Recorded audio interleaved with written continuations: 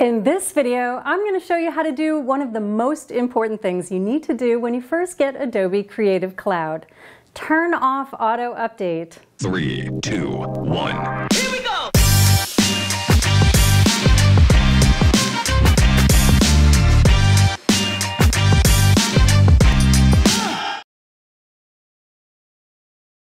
Hi and welcome or welcome back to DIY Film with Merle Becker, the channel where I help you make better videos. As always, stick around to the end of the video for a bonus tip.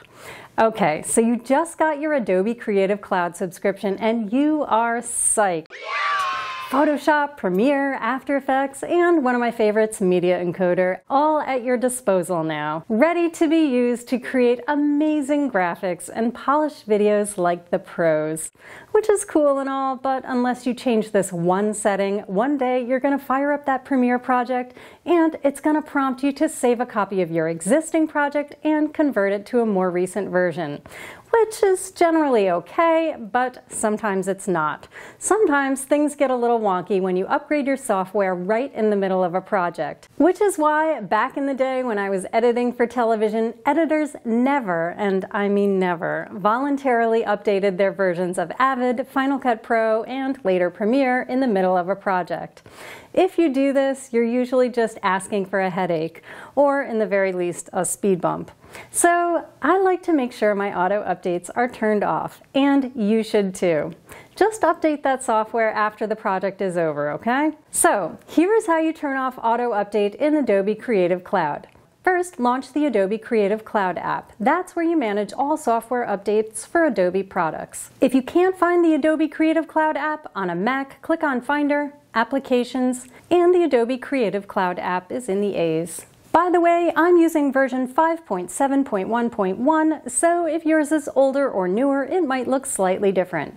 Since Adobe likes to try to force us to upgrade to the latest version of their software as soon as it's available, you might be prompted to update your version of Creative Cloud before you use it. There is no way around this, so hit OK and go get a cup of coffee if this is the case.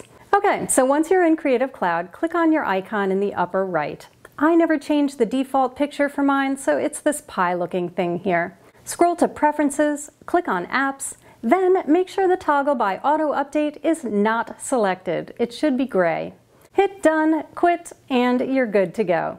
Oh, and ignore this. Are you sure you want to quit? You can just hide Creative Cloud nonsense. There is no reason to run the Creative Cloud app in the background and give your computer more to manage. Seriously, Adobe, you've had this roadblock here forever, and I can literally see the eye rolls you get every time you force us to take this extra step just to quit your ish. But I still love you. All right, let's do the tip. New to Adobe Creative Cloud apps? Did you know that you've got a whole arsenal of free beginner tutorials to get you up and running? Right there in the Creative Cloud app. You do. And here is how you find them. Open the Adobe Creative Cloud app like we did earlier. Then on the left, scroll down to the bottom and you'll find a link to tutorials. Click on it. And at the top, you've got an option to choose beginner or experienced. Experienced is kind of lame. It's mostly just trying to get you to use other Adobe products. But the beginner section has some good stuff in it, like this Photoshop one. The Photoshop one provides a link to some sample files to practice with, and short three minute clips that gently take you step by step through the program. Cool, huh? So the next time you're looking for a better use of your time than TikTok, check out some of the free Adobe tutorials. Nothing against learning my money don't jiggle jiggle, but you know, if you're gonna get better at filmmaking or photo, you gotta keep your eyes on the prize. Alright, as always, if you found any of this helpful, please give the video a thumbs up, subscribe and hit the bell so you know when the next one is posted, and I will catch you next time.